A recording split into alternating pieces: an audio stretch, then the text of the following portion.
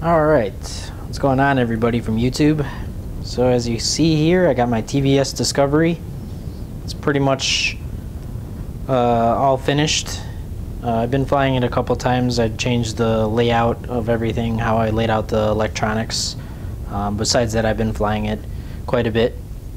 Recently, what I just changed today was I got rid of the GPS mount. I got rid of that. I put it down to the low spot on the frame. And then I also got rid of the red and white arms. I installed all blacks all around. Looks much cleaner, much nicer. If you're not worried about orientation or anything like that when you're flying without the FPV, it should be pretty fine. I also added lights on mine, so I have white and red lights on it. So that's pretty nice too. Another thing I changed is I got rid of these, the Opto 30 amp. These are great speed controls, um, but I did notice a lot of a lot of things when it came to wind. Um, it would shake a lot and everything like that. A lot of people said that these are not the greatest speed controls. They're very good for starting off with the quad, but when it comes to getting on later and later and trying to get better and better quality video, these aren't the best.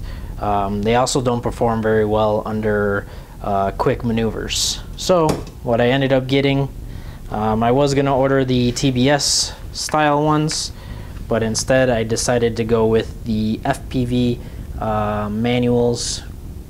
Let's see if I can get it in. Okay, there you go. These are the 30 amp. These are flashed with SimonK uh, firmware. So SimonK is a very good uh, firmware setup for speed controls for quads like this.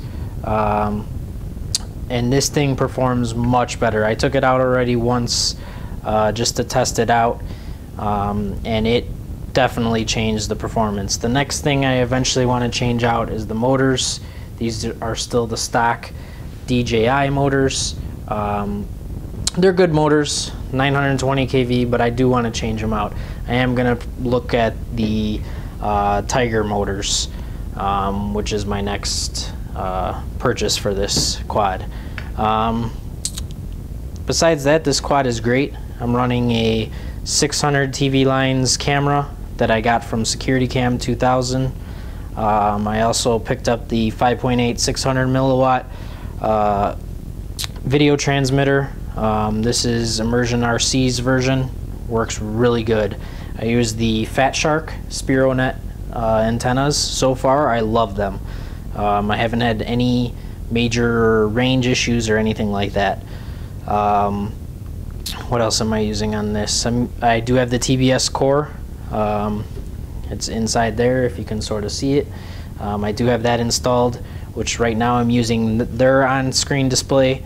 Um, I am waiting for the Immersion RC on-screen OSD um, because uh, I want to check it out. I've heard that it's really good. It gives you every GPS coordinates and stuff like that. I want to go a little bit further with this quad. I know I can go a little bit further, so I want to check that out. Um, I do have that uh, on order and soon to get that. Um, what else? I do run the GoPro up here too. Uh, I run the black version, which I shoot in 1080p, 60 frames per second, just in case I want to play around with some of the pictures or anything like that. I could pull pictures out of there too. Um, uh, let's see, what else am I running? I'm running a three cell. A lot of people are running four cells on these. I love my three cell. I'm running a three cell 5065C and I get a lot of punch. I get a lot of flight time. I get about 18 minutes. Um, on average, I get about 15 minutes. So I can get about 18, maybe 19, but on average I'm getting about 15, um, which is great. Uh, it gives me a lot of flight time, a lot of play time to go play with it.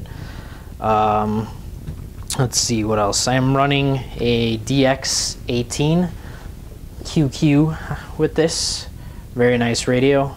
Um, pretty easy to set up.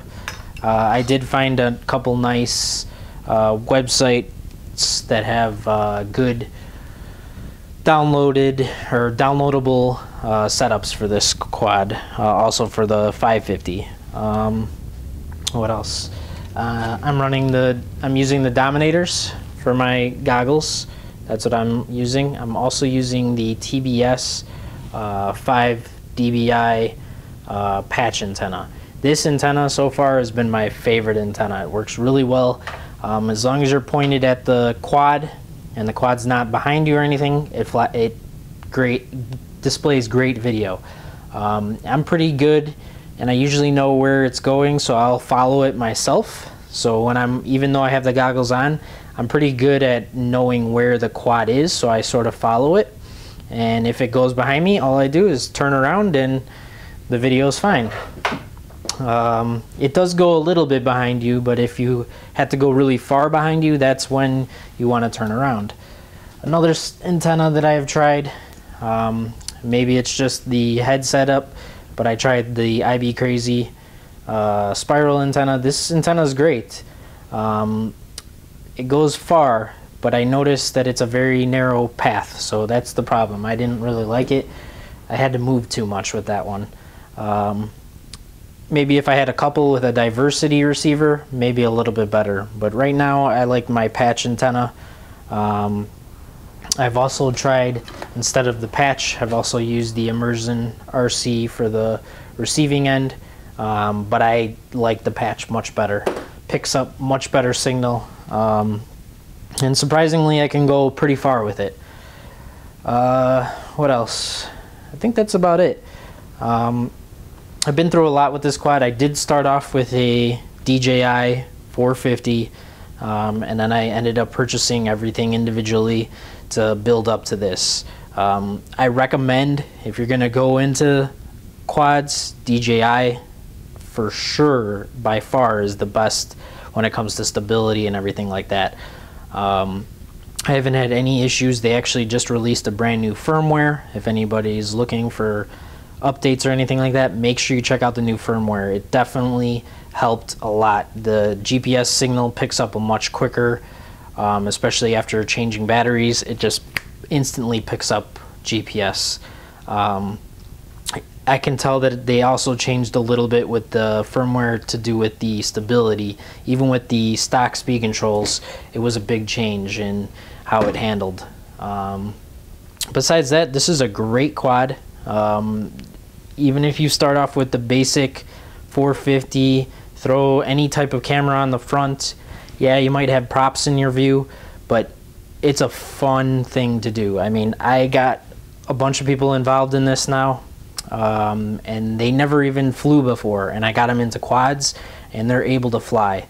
Uh, that's pretty much how stable these things are. Um, Besides that, this thing is great. I also have the TM1000 on here, um, mainly for telling me telemetry back on my transmitter.